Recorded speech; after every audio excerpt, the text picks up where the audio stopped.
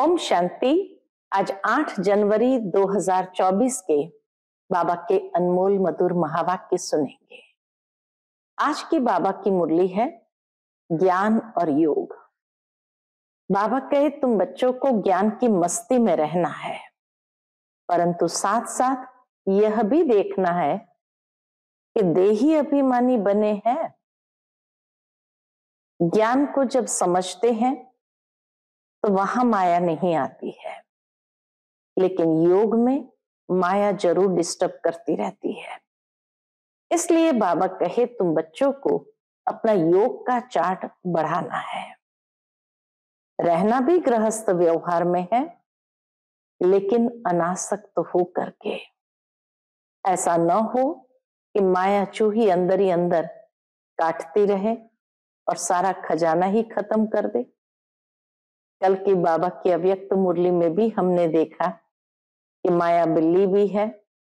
मैं मैं, मेरा मेरा करते म्याओ म्याओ करती है। माया चूहा भी है।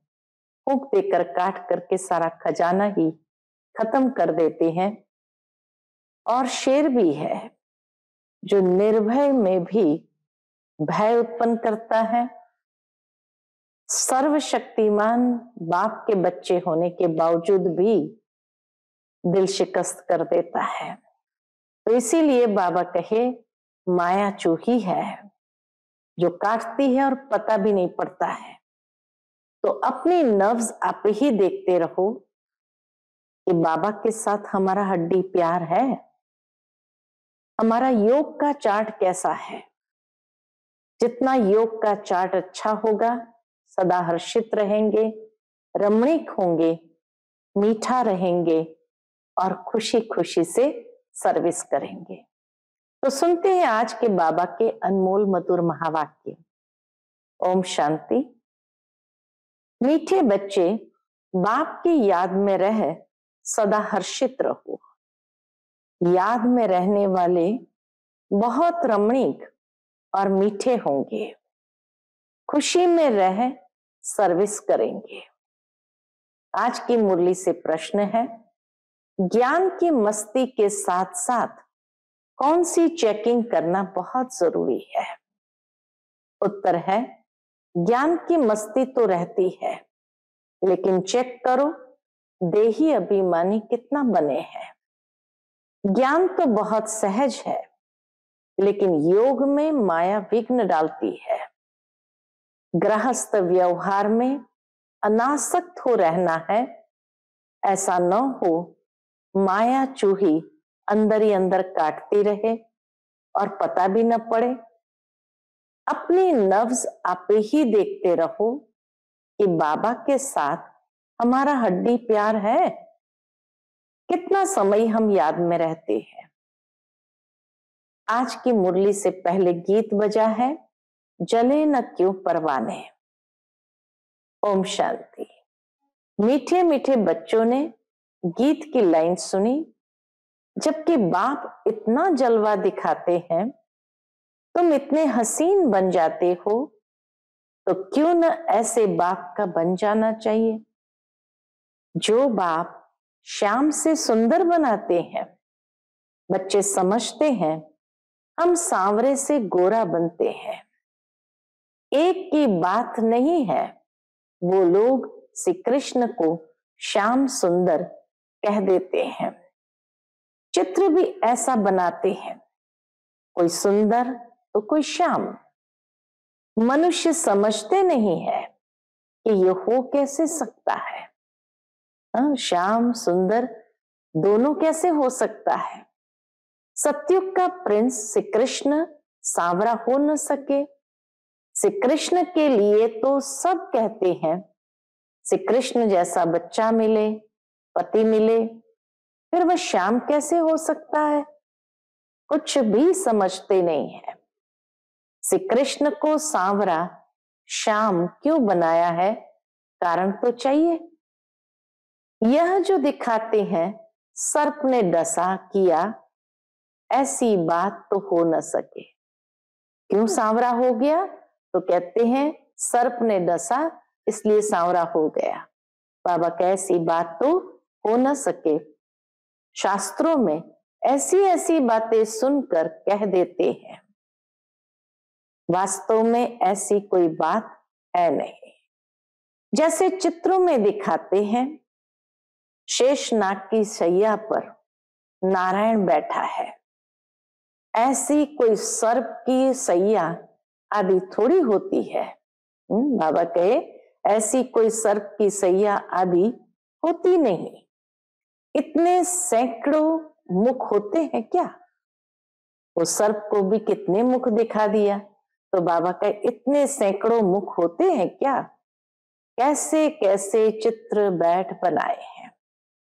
बाप समझाते हैं इसमें कुछ भी रखा नहीं है।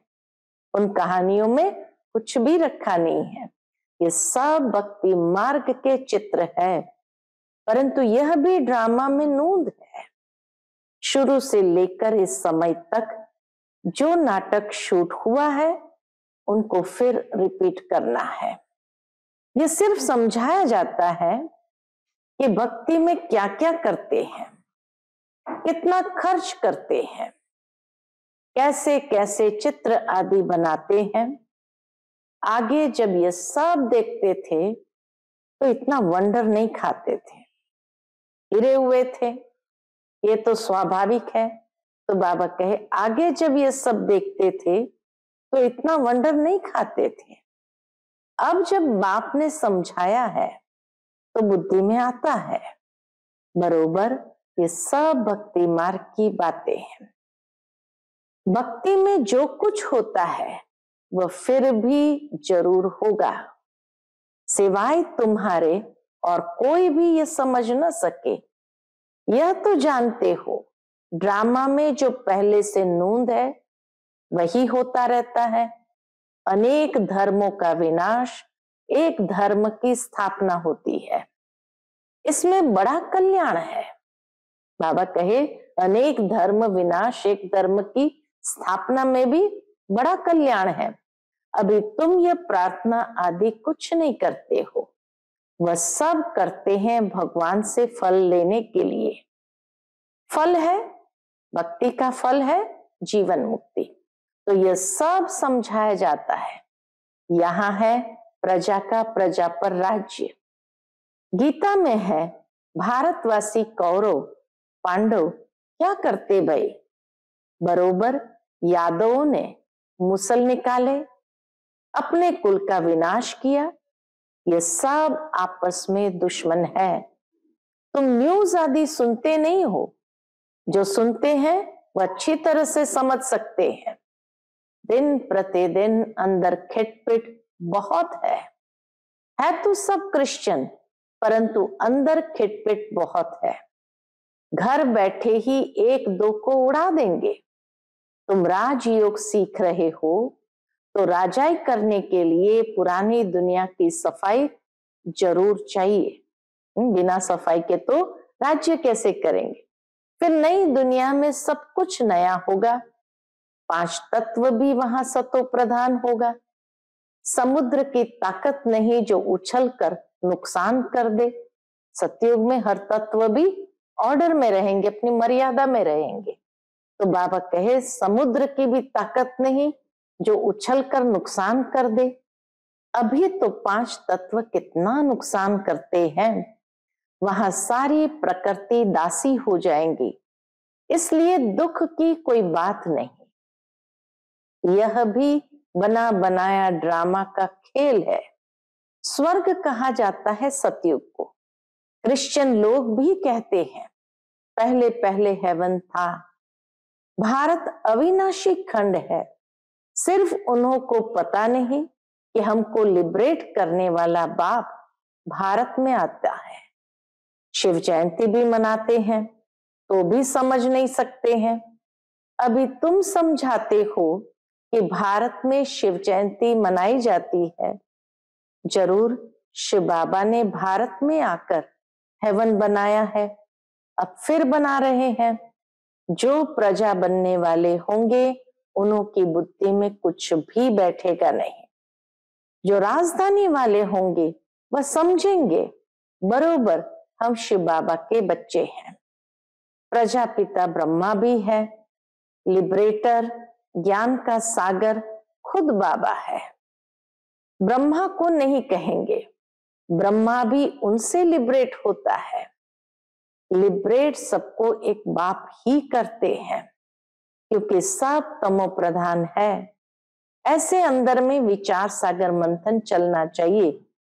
हम ऐसी मुरली चलाएँ जो मनुष्य झट समझ जाए।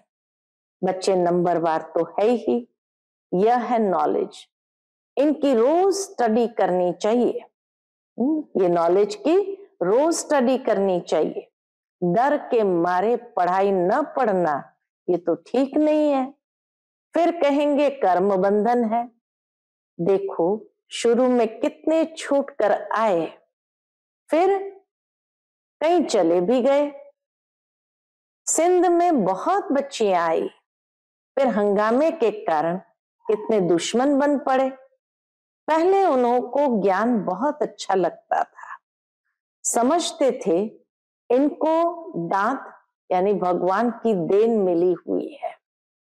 शुरू में बहुत लोग ज्ञान सुनते थे अच्छा लगता था और ये भी समझते थे कि ज्ञान उनको भगवान की देन है। अब भी ऐसे समझते हैं, कोई शक्ति है। अभी धीरे धीरे यहाँ तक आए कि ज़रूर कोई शक्ति है। ये नहीं समझते कि परमात्मा की प्रवेशता है।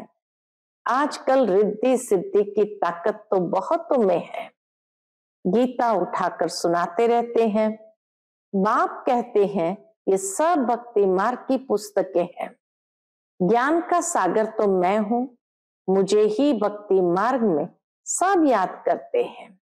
ड्रामा प्लान अनुसार यह भी ड्रामा में नूंद है। साक्षात्कार भी होते हैं। भक्ति मार्ग वालों को भी राज़ी करते हैं। बाबा भक्ति मार्ग वालों को भी राज़ी करते हैं। ज्ञान नहीं उठाते तो उनके लिए भक्ति भी अच्छी है। फिर भी मनुष्य सुधरते तो है ना? कोई ना कोई बात को लेकर के सुधरते तो है ना? चोरी आदि नहीं करेंगे। भगवान का भजन करने वालों के लिए कभी भी उल्टी बातें नहीं करेंगे। फिर भी भगत है। आजकल तो भल भक्त है, फिर भी बहुत देवाला मार देते हैं। ऐसे नहीं कि शिव बाबा का बच्चा बना तो देवाला नहीं मारेगा। पास्ट का कर्म है। कर्म की गुये गति समझाते, बाबा कहे उनके, पास्ट का कर्म है तो देवाला मारते हैं। ज्ञान में आने से भी देवाला मार देते हैं। इसमें ज्ञान का कोई तैलुक नहीं है। ज्ञान और कर्म दोनों का अपना अपना पार्ट है। तो बाबा कहिए, नहीं, ज्ञान में आया तो देवाला नहीं मारेगा, वो संबंध नहीं है। तुम बच्चे अब सर्विस पर लगे हुए हो, समझते हो श्रीमत पर सर्विस में लगने से फल पाएँगे।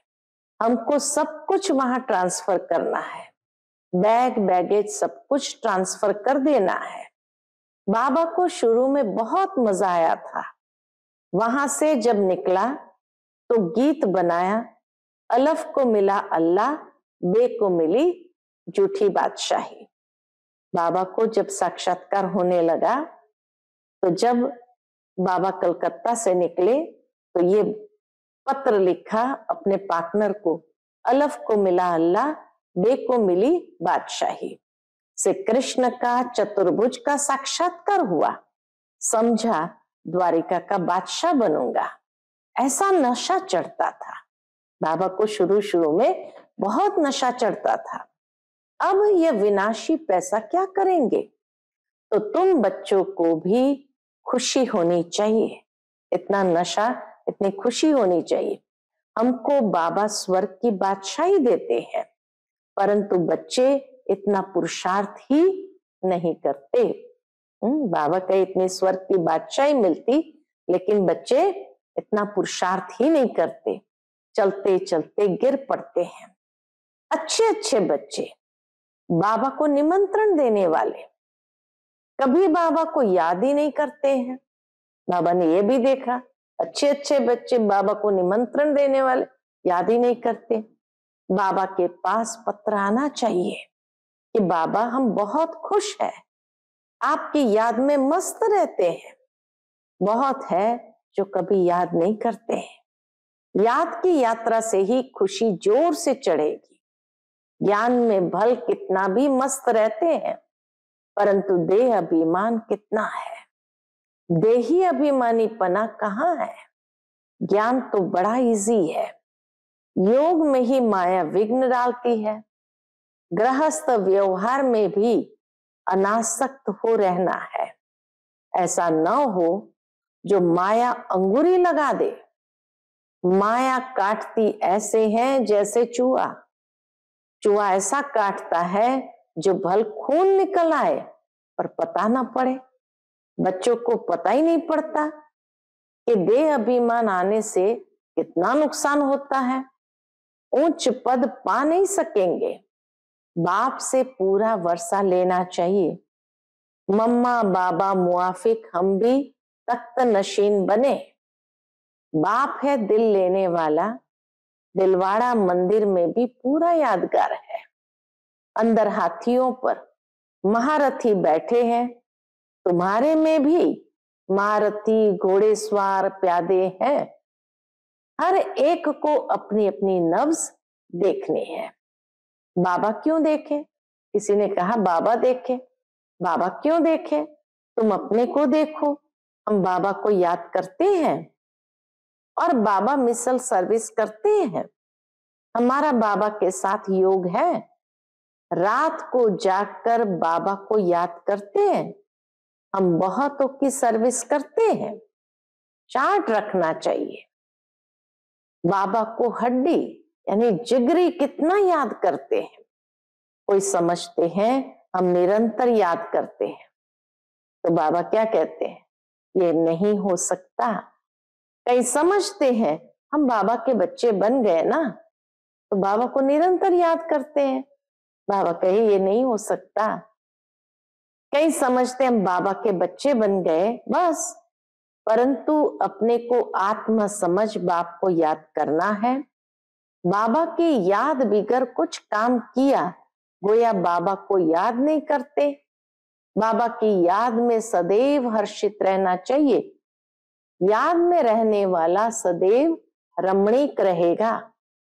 याद में रहने वाला सदैव रमणीक रहेगा हर्षित मुख रहेगा। हम्म, बाबा कहे याद में रहने वाला सदैव रमणीक रहेगा हर्षित मुख रहेगा। इसको बहुत खुशी से और रमणीकता से समझाएँगे। बहुत थोड़े हैं जिनको सर्विस का बहुत शौक है। चित्र पर समझाना बहुत सहज है। यह है ऊँचे ते ऊँचा भगवान।